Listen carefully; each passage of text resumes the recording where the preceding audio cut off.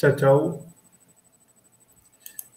Bueno, ahora continuando con el cronograma, eh, vamos a tener una charla. Creo que es la primera vez que se va a hacer una especie de keynote en, en una FreeZone acá en La Rioja. Así que mm, en este caso eh, tenemos el honor de tener presente a Juan Pedro Fisanotti, que para mí personalmente es uno, uno de, los, de los mejores programadores de, Python, o sí, de aquí, de, por lo menos de aquí de Argentina, los más reconocidos. Eh, yo, yo, lo sigo bastante, vi varias de las charlas de, que dio, así que para, mí es como una especie de, ídolo. Así que bueno, él va a estar hablando eh, sobre la charla, va a ser identificando Python, típica pregunta del primer tiempo. Te cedo la palabra. Que tengas mucho éxito. Muchas gracias por los halagos, No, no creo, hay muchos, muchos buenos programadores, por suerte, en, Argentina. Eh, pero eso, muchas gracias por la presentación. Eh, bueno, les comparto entonces ya pantalla.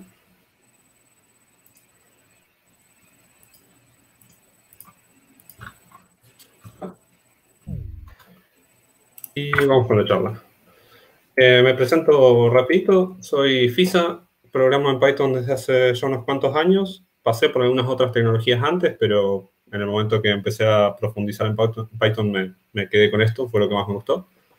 Y lo he usado para varias cosas diferentes. He pasado por mundo de desarrollo web, por eh, algunas aplicaciones de escritorio, por cosas de inteligencia artificial, y ahora lo estoy usando para satélites, satélites espaciales. Estamos en Satellogic todo lo que es el software de la especie de piloto automático del SAT está hecho en Python y el planificador en tierra que planifica toda la actividad de la flota también.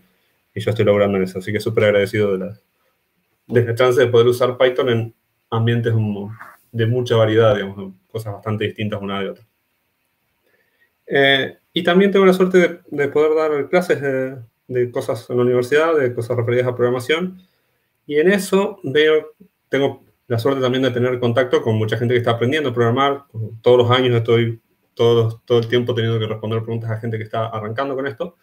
Y eso me fue, eh, me fue mostrando con el tiempo algunas de las típicas preguntas que la gente suele eh, no entender del todo bien de Python o que suelen generar problemas sobre todo el primer tiempo. Estoy hablando de lo que es la etapa que viene después del típico ya leí un tutorial. O sea, queríamos aprender en Python, arrancamos leyendo algún tutorial en algún lado eh, después de leer el tutorial empezamos a querer hacer algunas cosas y ahí es donde empiezan a surgir algunas de estas dudas que muchas veces no es tan fácil tener una respuesta bien clara. Y de hecho también a veces hay info que no es tan correcta, tan precisa dando vueltas. Entonces eso lleva a que no siempre podemos sacarle todo el jugo a Python o entender bien lo que estamos haciendo y, y aprovecharlo de mejor manera. Así que se me ocurrió que podría ser interesante dar una charla sobre ese tipo de preguntas, sobre darle un poquito de respuestas más claras a, a esas preguntas del primer tiempo. Así que vamos a arrancar con una de las más obvias, de las más, digamos, las típicas preguntas que uno primero se va a encontrar cuando empieza a programar en Python, que es entender si Python es compilado o interpretado, ¿sí? Eh, sabemos muchas veces por, si estudiamos una carrera de esto porque en alguna materia nos lo explicaron o si aprendimos a programar por nuestra cuenta porque en algún lugar quizás nos cruzamos en algún post, en algún video o algo, en algún punto chocamos con el hecho de que hay como dos tipos de lenguajes, lenguajes que son compilados y lenguajes que son interpretados, y más o menos tenemos una idea de qué son cada uno, ¿sí? que los lenguajes interpretados son como más lentos y los compilados son más rápidos, pero en los compilados escribo más código y más, ¿sí? tenemos el caracolito ese más lento de, de, los lenguajes más interpretados y el conejito caballo, no sé qué es, más rápido de los lenguajes compilados. Y más o menos lo que entendemos la mayoría de veces son estas tres cosas si voy a agarrar Java y C Sharp, porque son por ahí los, los que más cercanos a Python están en el mundo de para qué tipo de cosas se usan. Y sabemos que, por ejemplo, Java y C Sharp son compilados y en esos lenguajes el código fuente se compila a un binario y después agarramos y ejecutamos ese binario. Así que ese binario es lo que el procesador de la computadora sabe ejecutar. Mientras que en Python el código fuente es interpretado. O sea que hay algo que está leyendo instrucción por instrucción en tiempo real y tratando de ejecutar esas instrucciones. Y que entonces, como Python tiene que hacer eso, como tiene que interpretar así como en tiempo real las instrucciones del código fuente, Python entonces es más lento. Y esto lo van a ver en un montón de lados, lo van a ver en incluso eh, tutoriales y videos y demás. Y la realidad es que no es cierto. ¿sí? Ninguna de estas tres cosas que dije recién son realmente ciertas. Sirven por ahí como una primera aproximación, como para un primer entendimiento, pero en realidad no son del todo ciertas. ¿Por qué? Bueno, vamos a corregir la primera afirmación. ¿sí? Dijimos antes que compilaba a binario. Bueno, C Sharp y Java no compilan a binario en realidad. Compilan a un lenguaje intermedio, ¿sí? Y después hay un runtime que interpreta ese lenguaje intermedio. Entonces, si yo tengo un programa en Java en C Sharp, cuando le doy compilar desde mi IDE, lo que obtengo es otro programa escrito en este otro lenguaje intermedio, y después necesito un runtime instalado en la máquina donde lo vaya a ejecutar para poder interpretar ese nuevo programa compilado. ¿sí? Así que no me genera el binario que el procesador sabe correr. No, no. Necesito igual otro programa que es el runtime que va a interpretar eso. Ese es la JVM, la Java Virtual Machine o el .NET Runtime que nos piden instalar para poder correr un programa en .NET o un programa en Java. Porque justamente no son programas que corran directamente sobre el procesador. No están en lenguaje de máquina.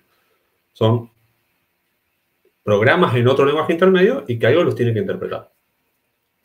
Entonces ya desde vamos, los lenguajes estos compilados no son realmente compilados. Si estoy hablando de Java C Sharp, obviamente lenguajes como C, sí, C es compilado, me genera un binario. ¿Y qué pasa del lado de Python? Bueno, Python en realidad tampoco es interpretado. Cuando yo le digo a Python, correme este programa, correme este archivo .py que yo escribí, lo que hace primero Python es compilar ese .py a un lenguaje intermedio. ¿sí? Lo lee entero, lo compila y genera este coso en un lenguaje intermedio.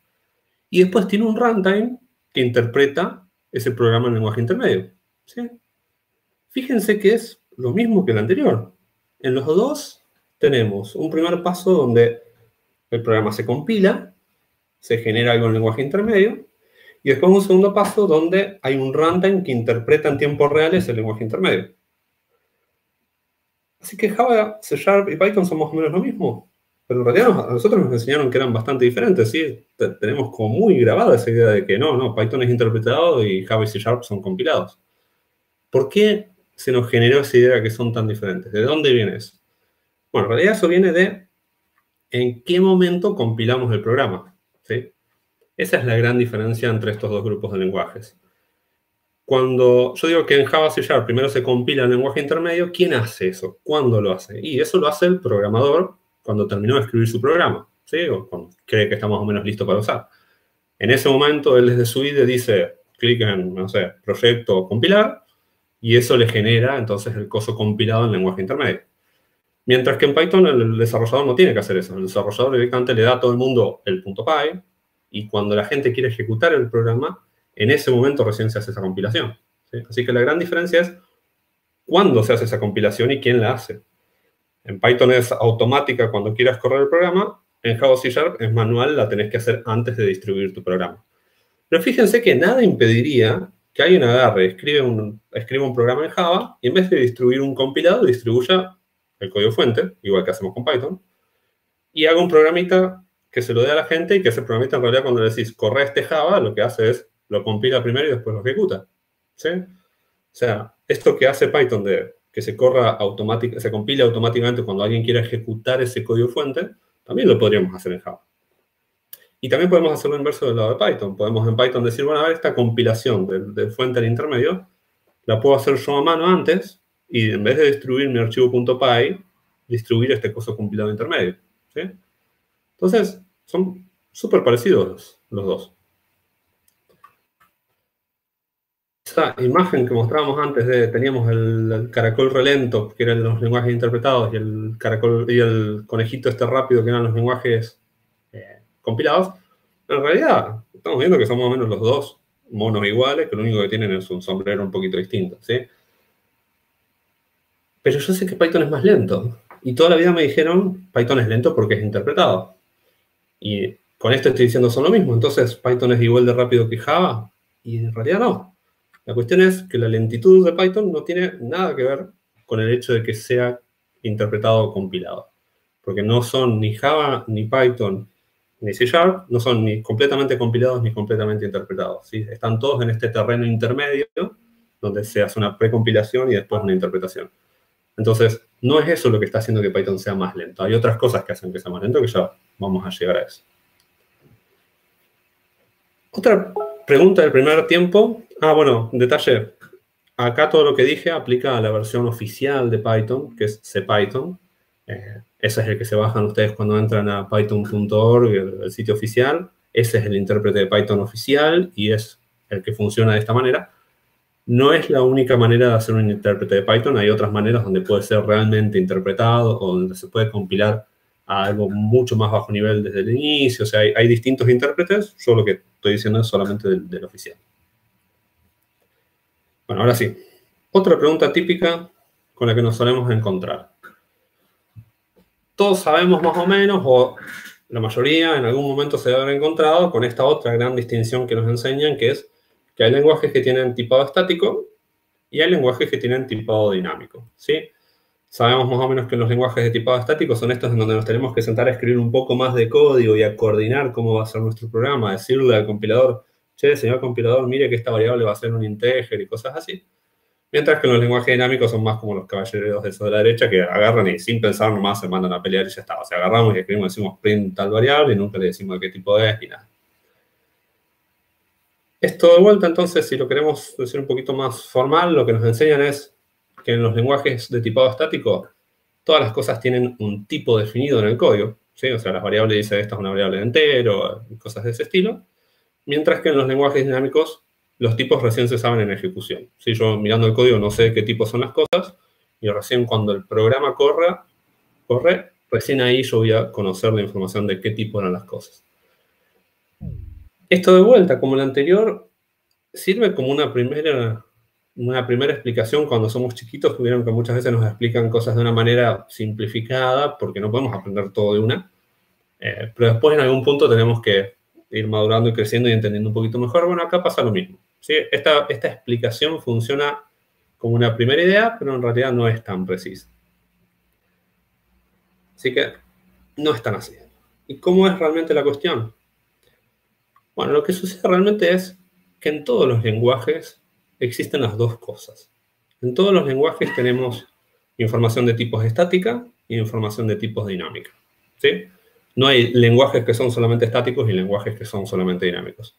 No es así. Todos los lenguajes tienen las dos cosas. ¿Qué es la información de tipos estática? Es toda la información que yo puedo obtener sobre los tipos solamente mirando el código fuente. ¿sí? Si a mí me dan el archivo .py o el archivo .java o lo que sea, yo leyendo ese código a mano puedo saber un montón de cosas. Por ejemplo, si en Java tengo una cosa que dice eh, integer variable x, yo sé que el tipo de las cosas que hay en esa variable van a ser integers. No van a hacer otra cosa. Esa información que yo mirando el código ya puedo saber. Mientras que la información de tipos dinámica es la información que yo no puedo saber hasta que no ejecute el programa. ¿sí?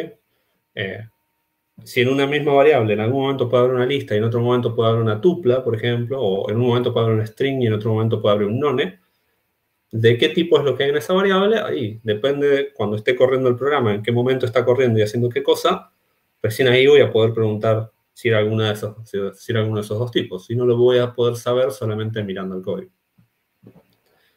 Por eso les dije que esto existe en los dos lados, o sea que las dos cosas existen en, todos los, lenguajes, que no hay lenguajes que tienen solamente información estática y no dinámica, y solamente dinámica y no estática.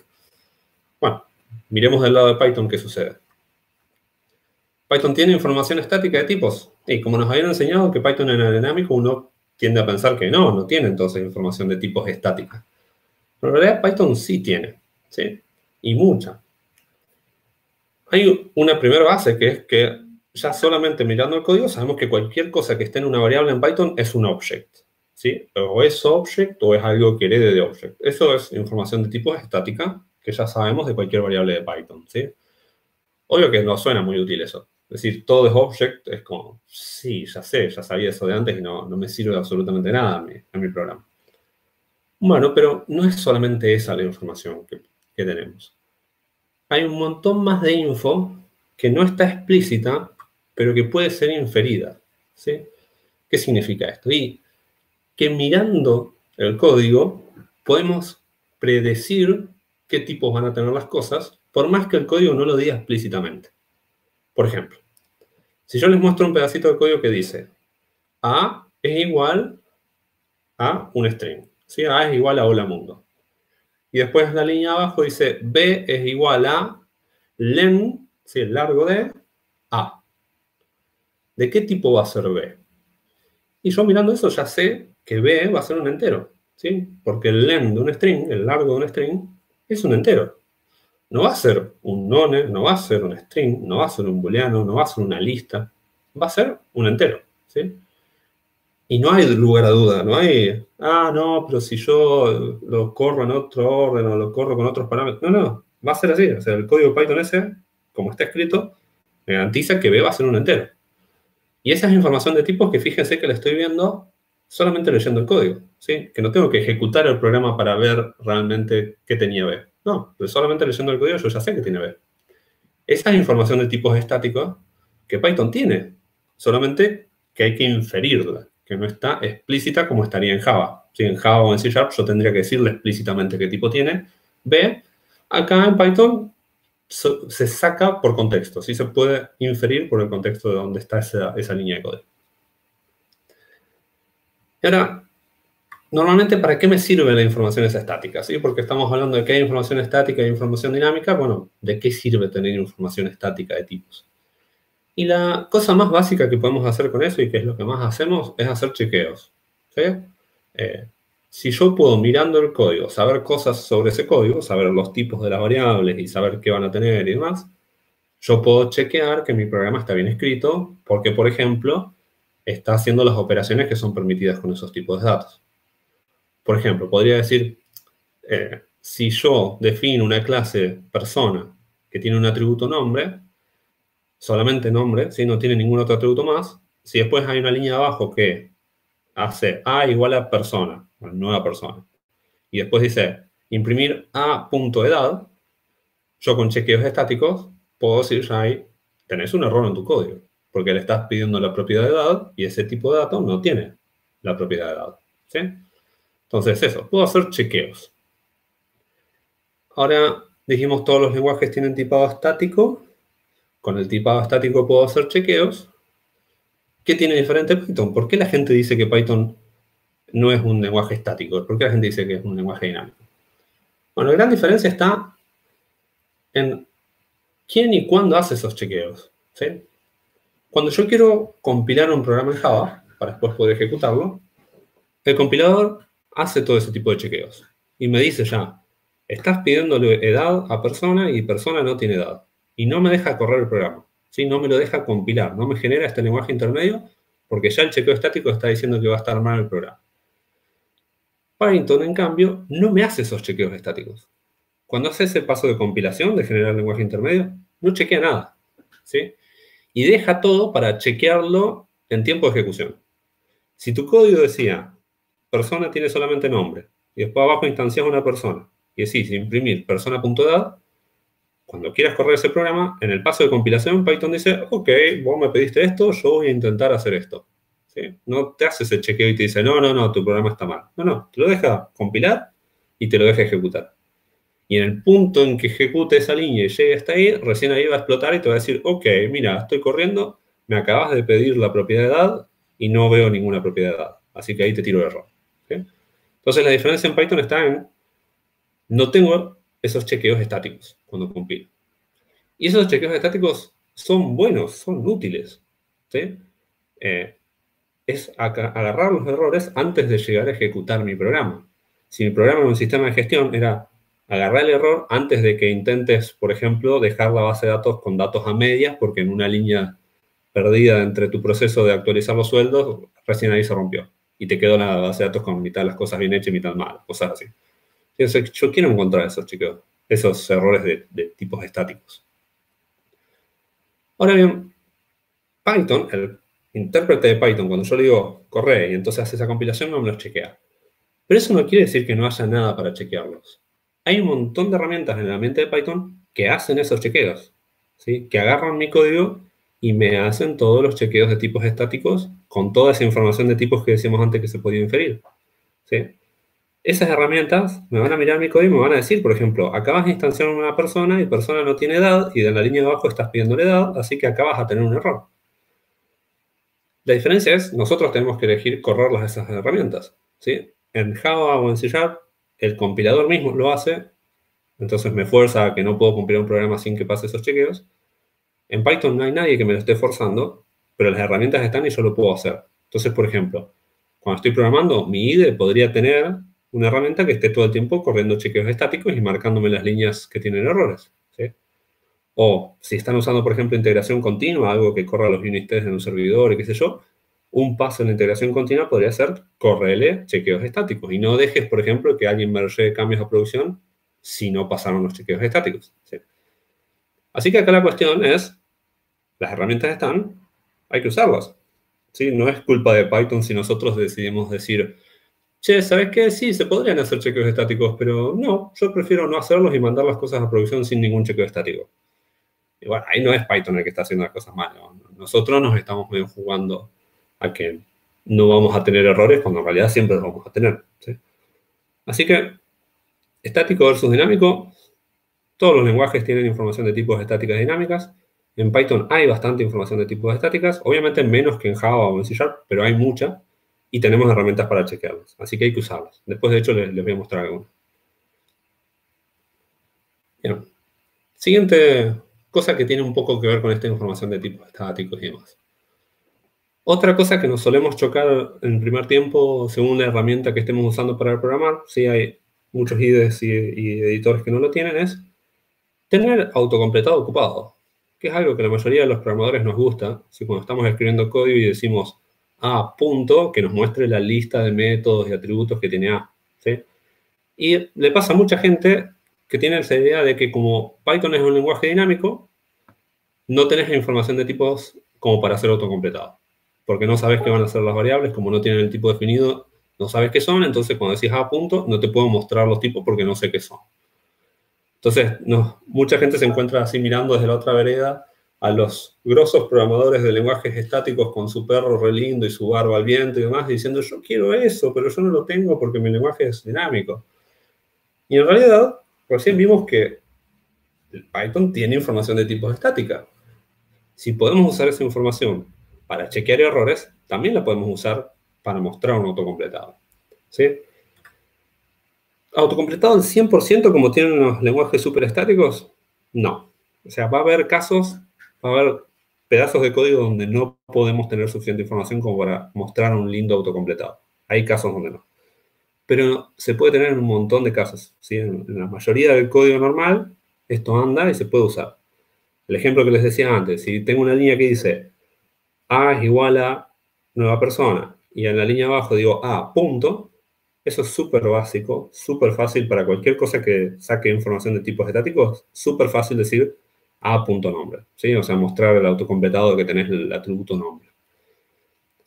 Ahora, esto es cuestión de usar algún IDE o editor que tenga estas herramientas, ¿sí? No todos los IDEs o editores de Python tienen autocompletado. Por ejemplo, si usan IDLE, IDLE no tiene este, esta feature. Pero si usan Visual Studio Code, si usan PyCharm, si usan BIM con una serie de plugins eh, y demás, este autocompletado sí existe. Entonces se puede tener. De vuelta, hay que ser honesto, no vamos a tener exactamente el mismo nivel de autocompletado que tenemos en lenguajes con mucha más información estática, pero tenemos un buen autocompletado. En la práctica, lo suficientemente bueno como para la mayoría de los casos. Bien. Ahora, nos quedó ahí algo pendiente, que es que muchas veces cuando hablamos de lenguajes de tipado dinámico, la gente asocia eso con que entonces los tipos de las variables no son fuertes, o sea, que, es de tipado débil. ¿sí? Estos son dos cosas que se confunden muchas veces entre sí. ¿Qué es que algo sea de tipado débil? Y que una variable puede tener algo de un tipo adentro, pero yo lo puedo usar como si fuese de otros tipos, y que las cosas como que se convierten automáticamente. Cosas como los que hace Java, ¿sí? Eh, perdón, JavaScript, de que podemos decir A es igual a una lista, un array, eh, y después decimos B es igual a un objeto, y decimos A más B y JavaScript hace algo adentro y nos devuelve algo, ¿sí? Sumar un array contra un objeto no tiene sentido, era claramente, no era lo que queríamos hacer, Pero JavaScript, ¿qué hace? En vez de decirme, che, no, me estás pidiendo algo que no, no tiene sentido con los tipos de estas variables, en realidad JavaScript dice, y bueno, me pediste esto, yo trato de hacer algo. Y saca un monstruo y entonces te devuelve un string que tiene dos corchetes adentro, que no tiene nada de sentido. Bueno, eso es tipado débil, ¿sí? Donde las cosas se trata de... si vos le pedís operaciones que no son válidas con esos tipos, el lenguaje igual va a tratar de hacer algo. Y te terminan saliendo monstruos, así que no tiene nada sentido. Es un bicho que parece medio león y medio paja. En Python no es así. En Python las cosas tienen un tipo bien definido.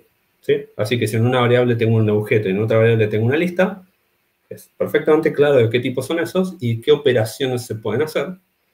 Y como Python es de tipado fuerte, cuando yo quiera hacer operaciones con esos objetos, solamente voy a poder hacer las operaciones que son válidas con esos objetos. ¿sí? Por ejemplo, si tengo dos listas y las trato de sumar, perfecto, porque la suma entre listas es válida. Pero si tengo una lista y tengo un string y los trato de sumar, Python no va a tratar de decir, y bueno, te trato de volver algo. No, no, Python va a tirarme un error. ¿sí? Eso entre listas es de tipo fuerte. No va a decir, no, me estás pidiendo una operación que no está definida entre esos dos tipos. Yo prefiero eso personalmente. O sea, yo prefiero que si estoy sumando cosas o operando cosas que no tienen sentido, que el lenguaje me tire un error y que yo entonces arregle el código y ese error probablemente me lo va a tirar en test unitarios, en algún ambiente así o mientras estoy desarrollando. Y no que trate de hacer algo que no tiene sentido y que después entonces no me di cuenta que había un error y es súper difícil de debatir y entender en producción qué miércoles pasó porque no hay ningún error en ningún lado, ¿sí? Y después en la base de datos me termina quedando un, guardado un string con dos corchetes adentro y no tengo ni idea de dónde salió y tengo que empezar a traquear a mano todo el código, a ver dónde puedo haber sumado dos cosas de distinto tipo para que dé eso y cosas así. Esto también aplica a todo lo que es atributos o métodos de más de clase. Por ejemplo, en Python, si yo defino una clase de persona y solamente le pongo el atributo nombre y después digo persona.edad, eso me va a tirar un error. Eh, y no como en JavaScript, que por ejemplo va a decir eh, te tiro un undefined, que es un valor y que si vos los asignaste a una variable, te queda ese valor en la variable y si lo querías guardar en la base de datos, te va un undefined en la base de datos. Así que es, Python es de tipado fuerte. Bien. Quedó colgado una cosa que no resolvimos, que era, antes dijimos si Python es interpretado lento, vimos que en realidad no era por ahí la cuestión. Pero sí vimos que Python es más dinámico, o sea que un montón de chequeos no los hace estáticamente, pero después los tiene que hacer en, ejecución. ¿sí? Cuando le digo persona, la, variable A, que era una persona, digo A.edad, ahí en ejecución tiene que chequear si existe edad o no, porque no lo chequeó en, estático. Entonces, sabemos que es más lento y viene por este lado la lentitud, no por el lado interpretado, viene por el lado de Python tiene que hacer un montón de chequeos dinámicos. ¿Por qué? Porque elige no hacerlos en estático. Ok, entonces eso quiere decir que todos mis programas van a ser mucho más lentos, porque tienen que hacer un montonazo más de chequeos que un lenguaje como Java o C Sharp no van a tener que hacer en tiempo de ejecución. Si un lenguaje que ya hacía todos esos chequeos en estático, cuando ejecuta la línea de código que dice a.edad, no tiene que andar fijándose si lo que hay adentro de A tiene el atributo edad o no porque ya sabe que lo va a tener, porque el compilador aseguró que eso vaya a existir. Bueno, Python sí lo tiene que hacer, entonces va a ser más lento. Ahora, ¿qué tan lentos van a ser mis programas por culpa de esto? Van a ser más lentos, pero no tanto. ¿sí? ¿Por qué? Porque en la mayoría de los casos, la velocidad de ejecución de instrucciones del lenguaje de programación no es lo que hace a la lentitud de la mayoría de mi programa. Ese preguntar si A tenía edad o no, es más lento, pero la mayor parte del tiempo mi programa no se va en eso. En el mundo real, depende de esto del caso, yo voy a dar algunos ejemplos donde no, pero en la mayoría de los casos, los programas se ven más como estas barritas, ¿sí? Eh, la barrita de arriba, esto es un sistema de gestión que está diciendo eh, guardar una factura nueva. En verde es el tiempo que el procesador usó para ejecutar instrucciones Python para hacer eso. Mientras que en rojo tengo el tiempo que llevó mandarle la query a la base de datos, que la base de datos aplique esos cambios y me devuelva los resultados. ¿sí? Todo lo que es disco, base de datos, red y demás, normalmente es la gran mayor parte del tiempo de mis programas. ¿sí? Entonces, si yo digo, bueno, a ver, en Python, yo sé que mi lenguaje Python es lento y que es cinco veces más lento que Java. Entonces agarro y reescribo todo mi sistema de gestión en Java. No va a ser cinco veces más rápido mi sistema de gestión.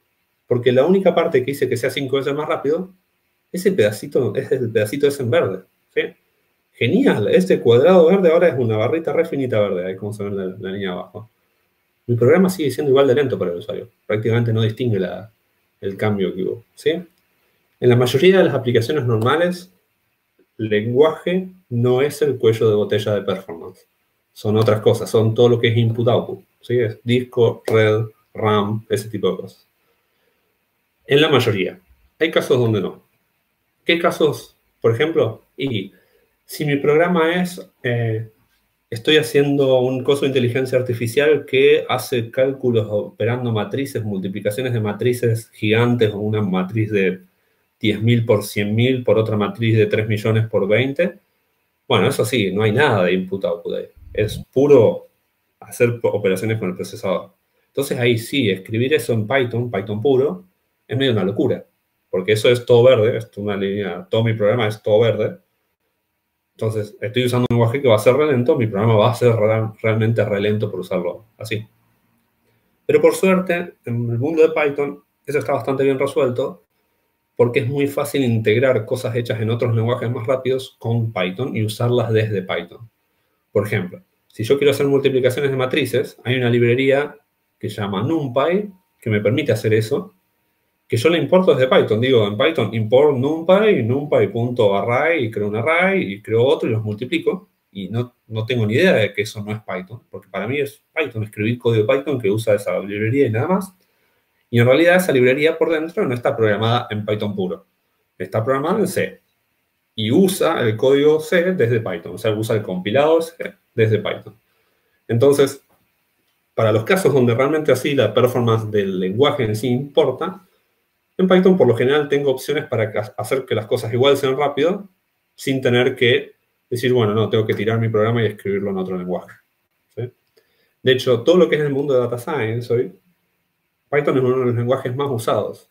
Eso es genial, es una contradicción re grande porque decís, a ver, el mundo de Data Science es el mundo donde más se hacen operaciones re pesadas de CPU, donde, donde tu programa es principalmente hacer operaciones matemáticas. ¿Cómo puede ser que se esté usando Python que es un lenguaje que es relento para hacer eso. Y bueno, porque justamente todo el ecosistema tiene todas estas herramientas que yo las uso desde Python y que en realidad por dentro están programadas en otra cosa. Pero yo como data scientist me interesa escribir código legible fácil, Python es genial para eso, y la performance me anda perfecto porque esas libs por debajo están hechas en otra cosa. Así que eso, el, mito de Python es lento es más un mito que una realidad, así en la práctica no es lo, lo que sucede. Y por eso lo podemos estar usando en euros para hacer cosas como planificar una flota de satélite, que es súper pesado. O por eso también se puede usar tranquilamente para hacer un sitio web como Instagram o como YouTube, que tienen un tráfico gigantesco, ¿sí? y no es que tienen que estar teniendo mil veces más servidores por haberlo hecho en Python. Bueno, ahora hay otra cosa más que solemos asociar como problema de que Python sea un lenguaje dinámico. Y esa otra cosa es Mucha gente está convencida de que como es un lenguaje dinámico, es un lenguaje más propenso a errores. Sí, y esto no solo Python, sino todos los lenguajes dinámicos en general. ¿Por qué? Y porque dicen, mira, a ver, si tu lenguaje no está haciendo todos estos chequeos estáticos, vos vas a hacer tu programa, lo vas a llevar a producción, ningún compilador te dijo esto está mal, entonces lo corres en producción y recién en producción te das cuenta de los problemas y vas a estar todo el tiempo arreglando problemas en producción. De vuelta, no es lo que sucede en la realidad. ¿Por qué? Porque tenemos las herramientas que conté antes para hacer los chequeos estáticos, así que si estamos usando Python bien, estamos haciendo esos chequeos, estamos corriendo estas herramientas que son una pavada, en serio, después se las muestra. Y porque además normalmente si estamos programando algo más o menos importante, lo que hacemos es escribirle tests unitarios, ¿sí? No solamente escribimos el código, sino que escribimos los tests para el código. Y esto es algo que no es, ah, tengo que hacer test unitarios porque estoy en el lenguaje dinámico. No, no, no siempre tengo que hacer test unitarios. Si estoy programando en Java o en C Sharp, también tengo que hacer test unitarios. ¿sí? No es algo específicamente de los lenguajes dinámicos. ¿Por qué? Porque mi, programa en Java o mi programa en C Sharp también puede tener errores de lógica, de que no hace lo que yo quería que haga, que quería que haga. ¿Sí? Ninguno acá es programador perfecto que agarre y escribe 10.000 líneas de código sin un error. Así que siempre necesitamos hacer test unitarios. Para el que nunca los hizo, los test unitarios son básicamente escribir pedacitos de código que usan otros programas, que usan mis programas, mis pedacitos de programa, chequeando que anda bien. ¿Sí? Por ejemplo, definimos una función calcular sueldo. Bueno, escribimos un montón de tests que llaman a calcular sueldo con un montón de parámetros distintos y se fijan que el resultado que devuelve es el correcto. ¿sí? Se fijan de, ah, si es una persona de tal categoría, tiene tal cosa, qué sé yo, el sueldo tiene que ser tal. Y si es de otra cosa, qué sé yo, no tiene que incluir tal impuesto. Cosas así. ¿sí? Escribimos todos esos tests y cuando hacemos cambios en nuestro programa, ejecutamos todos los tests para, que, para validar que realmente está haciendo lo que nosotros queremos. Bueno, eso lo deberíamos hacer con cualquier lenguaje. ¿sí? Cualquier programa que hagamos, deberíamos normalmente escribirle test de unidad. Y eso hace que todas estas cosas que me podían pasar porque sea un lenguaje dinámico, o sea, el, ah, pusiste un a.edad y en realidad no existe, y como no tenés un compilador, no te lo encontró. Mentira. Me lo puede haber chequeado el coso de chequear errores y tipos estáticos, y me lo tienen que haber encontrado, si no me lo encontró eso, los test unitarios, porque todas las líneas de mi código en algún momento en test se deberían estar ejecutando. Así que si yo en mi código tenía ese error, alguno de los tests lo tiene que estar usando y el error tiene que saltar. Y salta en mi máquina en desarrollo cuando estoy probando, corriendo los tests. Así que si en Python hacemos las cosas bien, ¿sí? que es usar las herramientas que tenemos de, de chequeos estáticos y escribir unit como deberíamos hacer en todos los lenguajes, no tenemos ninguna propensión extra a errores, ¿sí? No es lo que se ve en la, en la práctica. De hecho, en la práctica se suele ver caso opuesto, ¿sí? Es, más fácil que se nos escapen errores en lenguajes bastante más complicados de usar, como por ejemplo en C, que en lenguajes donde el código es bastante más legible y humano como Python. ¿Sí? Es mucho más fácil olvidarse un puntero y no liberar memoria o alguna cosa por el estilo en C, que cometer un error así y generar un memory leak en Python, por ejemplo. ¿Cómo estamos de tiempo? Ok, Bueno, eh, voy a saltear un par de cosas, así voy directo a la, a la demo y después tenemos tiempo para preguntas. Voy a saltear esto. Y voy a saltear esto. Y vamos directo a la demo. Yo les prometí entonces que en Python teníamos bastantes herramientas para hacer chequeos estáticos que esos chequeos estáticos los podíamos usar para detectar errores y que podíamos también tener autocompletado y cosas de ese estilo, herramientas lindas en desarrollo. Así que les voy a mostrar un poquito de ejemplos de todas esas cosas. Tengo acá un programita súper simple. Tengo una función repetir, que yo le paso algo y me lo repite tres veces y me devuelve algo por tres. En Python, por ejemplo, esto podría ser un entero y me devuelve el número por tres. O también le puedo pasar, por ejemplo, una lista, y las listas en Python se pueden multiplicar. Multiplicar una lista es crear una lista nueva que tiene tantas veces la lista anterior. ¿sí? Bien, y después abajo tengo mi main, la parte principal de mi programa, que dice resultado es igual a repetir. ¿sí? Y por ahora no está haciendo nada. Acá podría poner un print o algo. Bien, vamos a pasarle algo. Vamos a pasarle un número, por ejemplo, 42. Y fíjense que ahora cuando digo resultado, ah, no, vamos a pasarle, en vez de un número, vamos a pasarle un string. También se pueden multiplicar los strings en Python. Multiplicar un string es, de vuelta, poner el string tres veces. Así que el resultado de esto sería fisa, fisa, fisa. Si yo ahora digo resultado punto, si yo no conozco nada de las cosas estas que hablábamos recién en la charla y solamente me, me enseñaron en algún, punto, no, no, los lenguajes de tipado dinámico no tenés información de tipo, así que no puedes tener autocompletado, no puedes tener chequeo de errores, qué sé yo. Y entonces, ¿qué debería pasar cuando pongo punto K? Y no debería saber qué mostrarme, porque no sabe de qué tipo va a ser resultado porque es un lenguaje dinámico. Fíjense que en ningún momento yo le dije al código, la función repetir te devuelve un string. Entonces, ¿cómo sabe que tiene resultado? Pero sin embargo, si yo pongo punto, me está mostrando capitalize, caseful, center, count, encode, son todos los métodos de string. Métodos y atributos de string. Entonces estás sabiendo que el resultado va a quedar algo que es un string. Por más que nunca dije de qué tipo era la variable del resultado, ni tampoco dije de qué tipo era lo que iba a devolver la función repetir. Pero ¿qué pasa? El IDE está siendo suficientemente inteligente para decir, A repetir le estás pasando un string. Vamos a la función repetir, entonces algo va a ser un string. String por 3 devuelve un string. Así que el resultado va a ser un string. Y si el resultado lo guardaste en, valga la redundancia, la variable resultado, entonces esa variable va a ser un string. Entonces, ese proceso es lo que yo les decía antes que se llama la inferencia de tipos. Y es fuera de joda, si, si alguna vez se lo tratan de poner a pensar y ver cómo funcionan estas cosas, es un quilombo. Es, es re escribir un programa que haga inferencia de tipos, pero por suerte hay gente que ya lo hizo, ya, ya están disponibles las herramientas, o sea, no, no, me tengo que poner yo a entender cómo funciona la inferencia de tipos. Yo instalé un plugin en mi editor y ya está, ahora tengo todo completado. Y es bastante, bastante inteligente, porque por ejemplo puedo hacer cosas como esta. Digo, en vez de pasar un string, vamos a pasarle una lista de números. ¿Sí? Entonces, repetir una lista me va a devolver una lista. ¿Sí? Y fíjense que ahora, resultado punto, me aparecen otras cosas. Me aparece el append, clear, copy, count, que son métodos de lista. ¿Sí? Así que entendió que el resultado va a ser una lista. Pero no solamente entendió que el resultado es una lista, también entendió algo más copado, que es, si yo digo lista sub 0, o sea, dame el primer elemento de ese resultado, ¿de qué tipo va a ser el primer elemento de la lista que me devuelva esto? Va a ser también un número, ¿sí?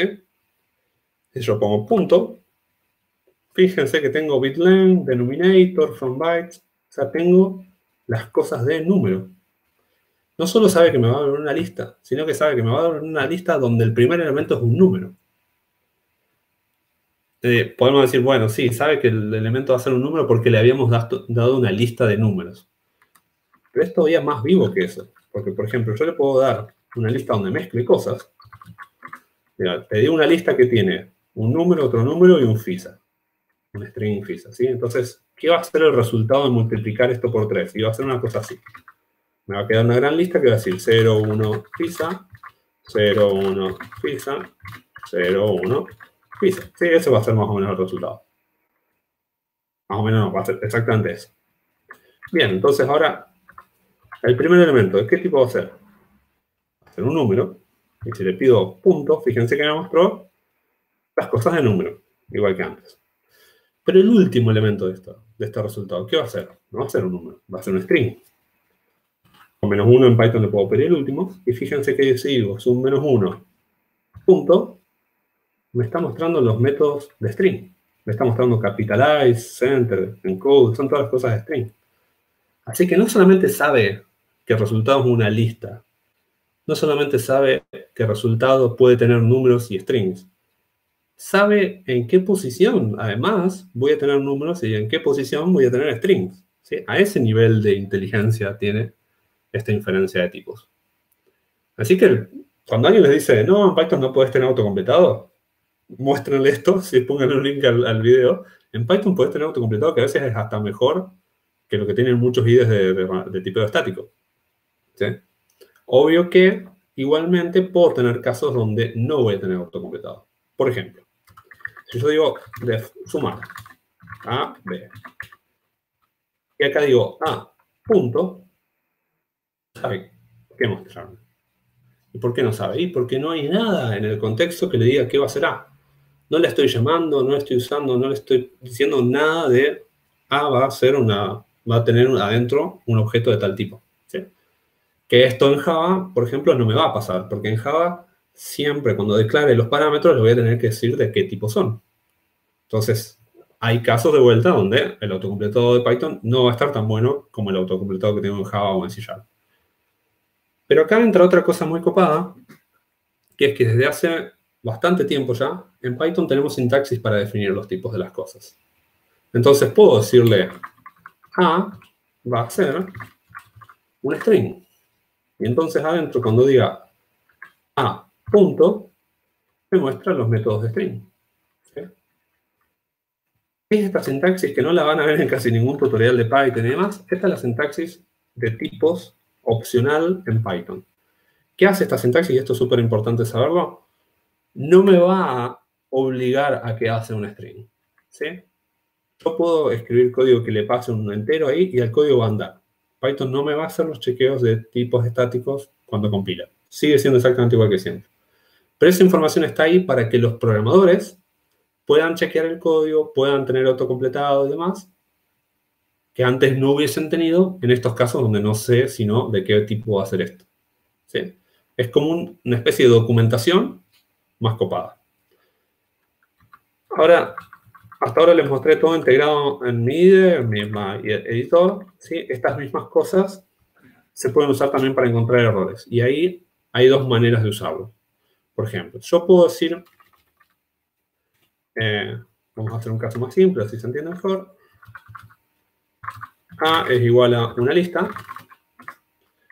A.app10. Esto claramente tiene un error. Si yo guardo este archivo, mi editor ya me chequea errores. Fíjense que la A está marcada con rojo. Los anteriores, los que están en naranja, no le den bola, esos son chequeos de estilo. Me está diciendo cosas como, che, te olvidaste la documentación, che, A no es un buen nombre de variable, cosas así. Lo importante es esta que está en rojo. Si yo me pongo ahí, fíjense que el texto que aparece abajo de mi pantalla me está diciendo, che, lista no tiene apen, ¿sí? No es una oveja. Lista tiene, si lo corrijo, apen. Una P. Y ahora lo guardo y lo más. ¿sí? Entonces, ese tipo de chequeos estáticos los puedo tener integrados también en el editor. Y no solamente en el editor, sino que ese tipo de chequeos también los puedo hacer con herramientas que corran y miren todo mi código y me hagan los chequeos. Vamos a dejarlo de vuelta roto. Lo guardamos. Y ahora en una consola digo link, ¿sí? que es una herramienta de chequeo estático de Python, demo.py, el archivito este. Y fíjense que cuando lo corro me dice, encontré todas estas cosas, Todas estas anteriores son los que les decía de estilo. Me dicen, mira, te olvidaste de la documentación del módulo, te olvidaste de la documentación de esta función, el nombre variable A no está muy bueno. Y además me encontró el error este de dice, lista, no tiene append. ¿Sí? Entonces, de vuelta, esto, si quiero, lo puedo tener integrado en mi entorno de desarrollo, cuando estoy usando un IDE, un editor, que me chequee los errores mientras los escribo, pero también lo puedo tener en la integración continua. Si están usando algo que corra automáticamente los tests y que haga el deploy automático y demás, tranquilamente le pueden poner un paso que sea corre plint o alguno de estos chequeadores estáticos y si fallan, no dejes que ese código se merge o que ese código se deploye a producción o lo que sea. ¿Sí? Esto fue una demo cortita de ejemplos de, herramientas. Hay un montón de esto. Hay una que se llama MyPy, que es específicamente diseñada para chequear tipos y sobre todo los tipos con esta sintaxis que yo les mostraba de que podíamos decirle los tipos de las cosas. Bueno, hay una herramienta que se llama MyPy que usa toda esa información para hacer chequeos en el código y que también infiere de las cosas que no tengan el tipo de qué tipo deberían ser. Eh, y así como está Plint, hay una serie de herramientas más o menos parecidas unas de otras que, que hacen este tipo de chequeos. Es más una cuestión de gustos y de qué tan estrictos quieren que sean y cosas así. Por ejemplo, vieron que Pilín se estaba quejando de que A no es un buen nombre de variable.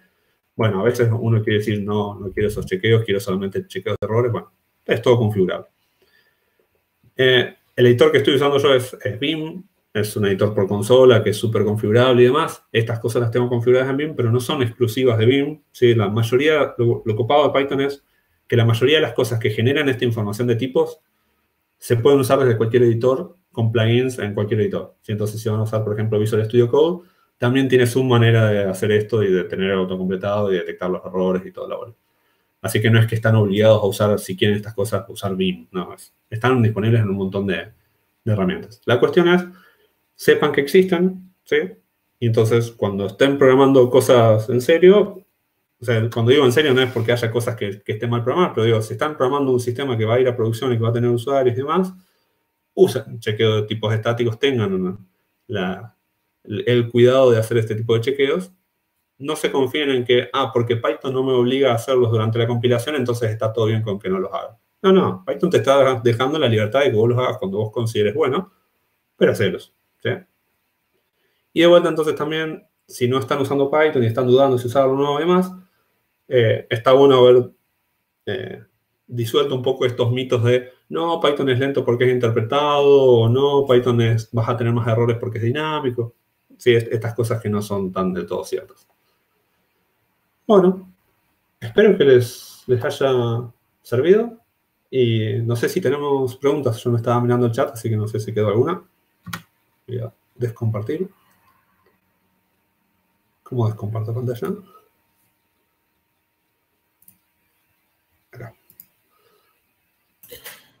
Bueno, la verdad muy, muy interesante la charla. Eh, por ahora no hay preguntas. Yo te iba a hacer la, la consulta, bueno, de cuál es tu eh, setup para, mm, para, programar. Dijiste que mencionaste que usas BIM, pero sí. tenía algunas cosas diferentes. Ok. Eh, vuelvo a compartir pantalla para mostrar. Es bastante fácil esto. Yo estoy usando BIM, para el que no lo conoce, es un editor por línea de comandos. También se puede usar con, con interfaz gráfica, pero la mayoría de la gente lo usa por línea de comandos. Eh, que está en todos los Linux y hay también opción para instalarlo en Windows y, y, Mac. Y yo lo tengo customizado con un montón de plugins y configuraciones extras que se las pueden bajar todas en un solo archivo en bin.fisador.com.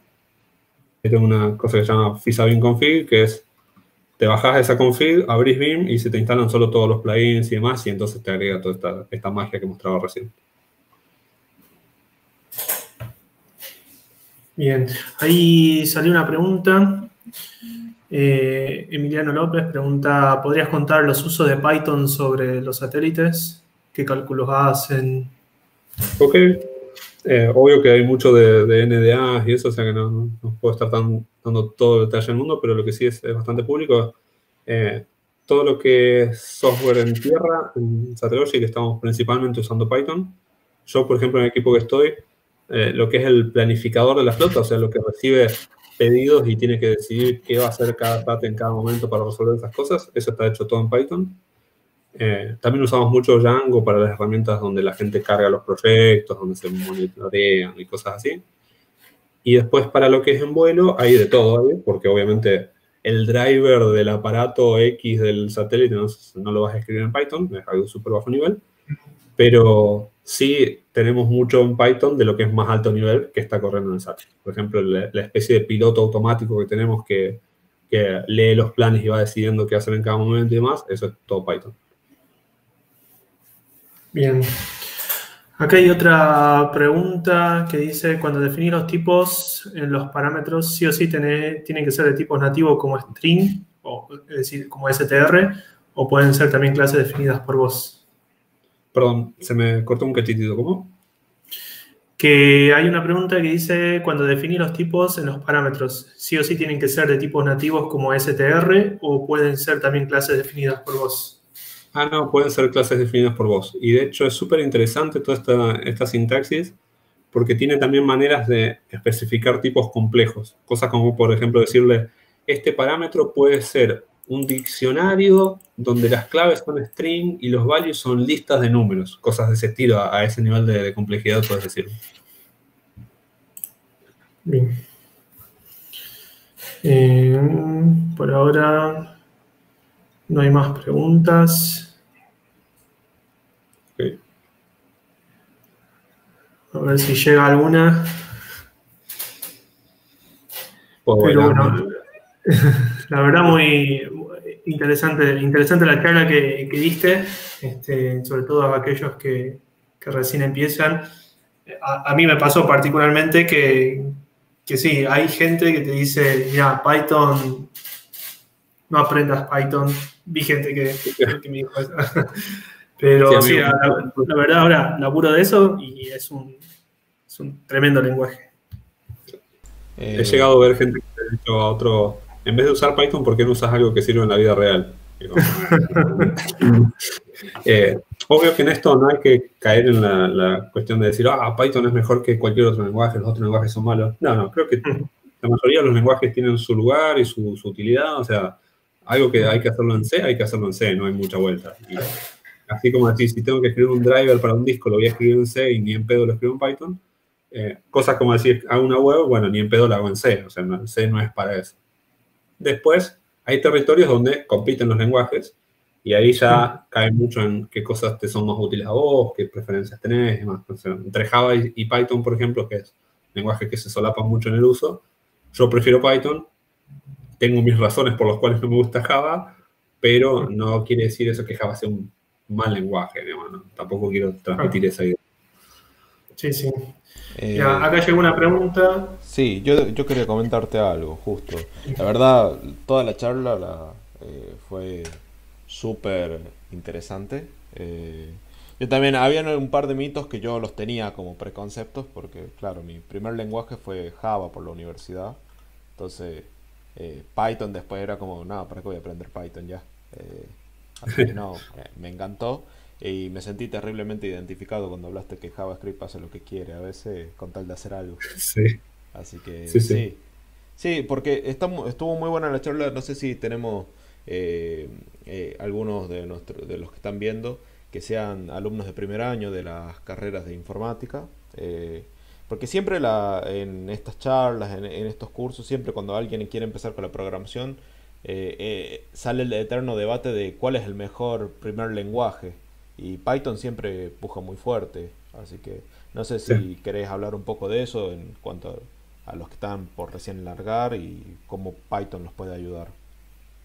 Sí, en eso sí, eh, como que tengo una opinión más fuerte de que no me parecería buena idea Java como primer lenguaje, que sí me parece mucho mejor opción Python. No es el único, hay varios que me parecen como buenas opciones para aprender a programar, pero yo veo esta cuestión, eh, y sobre todo de, experiencia de haber estado muchos años dando clases, cuando la gente está aprendiendo a programar, primero tiene mucha más necesidad en aprender a entender cómo funciona el código, o sea, entender qué es un loop, entender cómo se ejecutan en secuencia instrucciones, cómo puedes controlar el flujo y hacer un if y que se vaya por un lado y por otro y más. Cosas que cuando uno ya programó mucho tiempo le parecen re, evidentes. en realidad la programación no es algo intuitivo que una persona entiende programación así de forma natural, es algo que se tiene que aprender. Y cuando estás aprendiendo todas estas cuestiones de cómo funciona el código, qué es programar, no tiene mucho sentido que al mismo tiempo tengas que estar aprendiendo un montón de detalles de implementación de cómo se maneja la memoria y cosas así. Entonces, por eso no me parecería buena idea arrancar con C. Y tampoco tiene mucho sentido de que en tu código tengas que estar peleándote contra el compilador para convencerlo de que lo que vos querés hacer está bien. Por ejemplo, decir, eh, si yo digo A es igual a 20 y después quiero imprimir A, no tener que estar luchando contra el hecho de que tengo que haberle dicho de qué tipo iba a ser A y después tener que convertirlo a string porque si no, no lo puedo imprimir y cosas de ese estilo. Se tiene que ser un lenguaje mucho más directo. Y después, una vez que estás cómodo con eso, sin meterte en lenguajes donde tenés que pelearte más contra el compilador, pero te ganas en performance, o tenés que manejar memoria a mano, pero aprendes entonces cómo se maneja la memoria. Pero para aprender a programar, primero es, más importante aprender cómo hacer un loop y un if, o, una, qué es una clase, o la diferencia entre una instancia y una clase, o ese tipo de cosas, y no tener que estar peleándote contra el compilador o contra el manejo de memoria o cosas de más nivel. Siempre el lugar después para hacer eso está, pero me parece mejor aprender primero con una herramienta que sea más directa. Y en eso Python es genial. O sea, es, casi pseudocódigo. Uno escribe casi lo que tiene en la cabeza tal cual y corre. Dale, muchas gracias.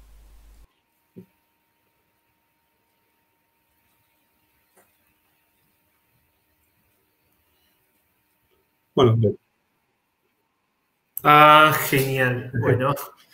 Eh, no, estaba leyendo una pregunta de YouTube que dice qué recomienda para administrar paquetes. Event, Poetry. Ah, mm, es una muy buena pregunta.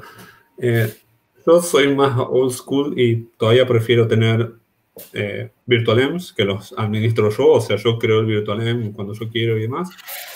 Y tener un requirement.txt con las dependencias salvo para cuando estás programando una lib, que entonces ahí las dependencias las pongo en el setup.py. Pero si no, para si estoy haciendo un Django, por ejemplo, prefiero tener requirements.txt. Con pipem he tenido buenas y malas experiencias. Pipem para una lib, por ejemplo, me parece genial. Pipem para un proyecto Django también. Pipem para Data Science, por ejemplo, no. No me he llevado bien con eso. Porque en Data Science me pasa mucho decir, este proyecto lo quiero usar en distintos virtualems y cosas por el estilo. El PIPM no es. Este proyecto tiene su virtualem, su set de dependencias y cosas así. Entonces, depende de, en qué entorno. Quizás mi consejo es probar y fíjate el, que para tu forma de querer usar las cosas se, se adapta mejor. Bien. Otra pregunta, las últimas dos, ya para ir cerrando. no se extienda tanto. Eh, ¿Qué opinas de otro lenguaje como por ejemplo R o, y Julia? Ah, buena pregunta también. R está bueno para hacer estadística, pero las mismas cosas que, que puedes hacer lindas con R también se pueden hacer lindas con Python. Y en Python tenés mejor ecosistema para todo el resto de las cosas alrededor. ¿sí? Por ejemplo, si estás haciendo un modelo para calcular eh, precios de algo, lo puedes hacer con R y Python, con cualquiera de los dos, lo vas a poder hacer re bien y va a quedar re lindo. Y puedes hacer las visualizaciones para ver cómo se comporta todo re bien con los dos. La cuestión es, cuando lo quieras llevar a producción, va a ser mucho más fácil llevarlo a producción con Python y hacerle una web con Django alrededor y que ese modelo esté público y que tenga una API, que tenga autenticación, interacción con Google y lo que quieras. Con R no, porque no es su foco. R no, no, R se queda en lo que es el análisis estadístico, cálculo numérico y demás, y no tiene tanto del, entorno alrededor.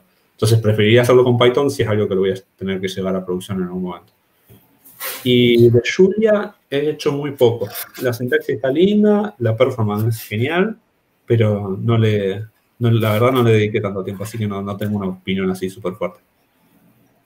Bien. Y la última pregunta que es bastante interesante. Después de los ejercicios básicos con Python, ¿por dónde me recomiendas seguir? Bien, después de lo básico, un libro que está bueno, que me gustó a mí mucho en su momento cuando, cuando yo hice ese camino, o sea, después de haber hecho tutoriales y, querer profundizar un poquito más, es Dive into Python, Dive into Python 3, de hecho, eh, que está online gratuito. O sea, entran al sitio oficial y lo, lo pueden leer ahí mismo en el sitio y todo. Está muy bueno porque es un libro que es súper concreto, o sea, te muestra, dice, bueno, a ver, vamos a aprender manejo de tal cosa. Y te muestra ejemplo de código y con una referencia en cada línea de código de acá se está haciendo tal cosa, acá se está haciendo tal otra y re bien explicado. A mí en su momento ese libro me, me ayudó mucho. Bien. Bueno, genial. Muchas gracias, Fisa. Muy interesante la charla. A ustedes por la posibilidad. Y felicitaciones por el evento, la verdad que estuvo todo muy bueno. bueno, muchas gracias. Bueno, ya con, la charla de, FISA llegamos al, final del, evento.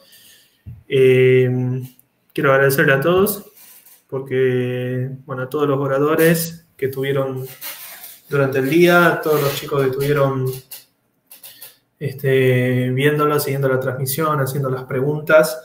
También quiero agradecer a, Marcos y Nicolás que estuvieron eh, también dando una tremenda mano, ayudando eh, aquí hoy. Así que, bueno, no sé si quieren hacer alguna palabra final, chicos. Si no, ya podemos ir cerrando. Eh, sí, bueno, primero agradecerte a vos, Emanuel, por la iniciativa y bueno, siempre hay, hay alguien que toma la posta de FreeSol y del software libre.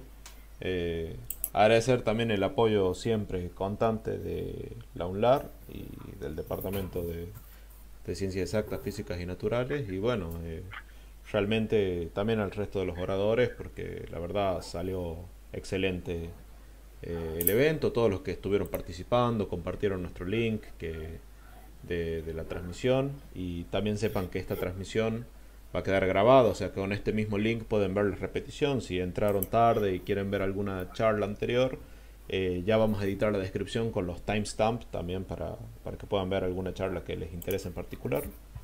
Y bueno, eso por mi parte, agradecerles a todos la presencia.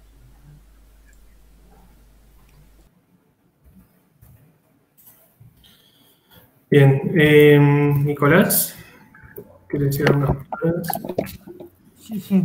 Eh, bueno, primero que nada es agradecerles a todos por la oportunidad. Como dije al principio, este es mi primer año en la carrera, esto es un mundo totalmente nuevo para mí y la verdad que cada día me, meto más y aprendo más de gente que sabe muchísimo del tema y todas las charlas me han, me han parecido excelentes, así que mil gracias por la oportunidad de participar y, y bueno, esperemos que se repita. Sí, seguro. Juanpi, por el lado de la universidad. Eh, bueno, agradecerle a todos, la verdad que, vivimos una tarde muy linda, con, muchas temáticas. Eh, a vos por, por, esta iniciativa, a Emanuel también, a Marco, y al otro chico también que, que estuvieron eh, colaborando, la verdad que los felicito y bueno, que, que sigamos por este camino con todo, con más iniciativas. Eh, y bueno, le dejo un mensaje de un saludo del decano Marcelo Martínez, que está en, en otra reunión y bueno, no, no pudo participar para hacer el cierre, pero le manda saludos, felicitaciones para todos. Y, y bueno, después se, se, le va a entregar un certificado para cada uno de los formadores. Así que nada, esperemos a seguir trabajando y ya preparando el próximo sol para el otro año. Y, y bueno, volverlos a felicitar porque la verdad, excelente evento. Eh, y nada más. Bueno, muchas gracias a todos y damos por concluido el, la FreeSol 2020 de La Rioja. Muchas gracias. Chao, chao.